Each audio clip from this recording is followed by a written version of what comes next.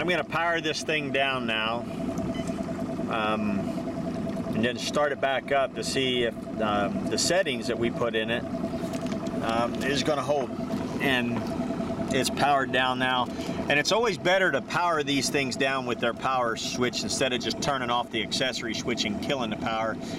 That gives that processor in this unit a, a bit of a chance to um, uh, or calibrate and, and just, you know, close everything down. So we're gonna power this thing back up and, and see if it, uh, if still picks up the way we had it set up and if it's saving our, our menu on it.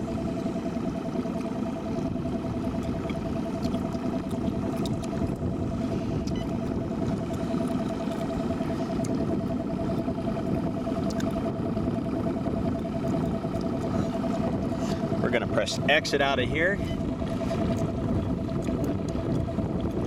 What it picks up here. There we go. Picked up 30 feet. Now we're in downward scan here. If you go over and you get the side imaging,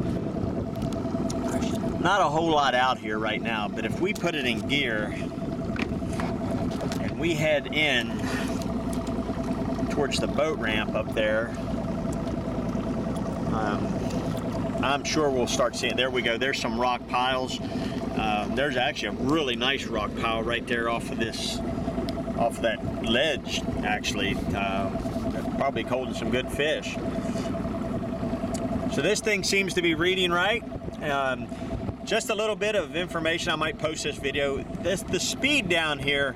The slower you go, the better picture you're going to read. The better details you're going to get off of that um, off of the rock piles and such.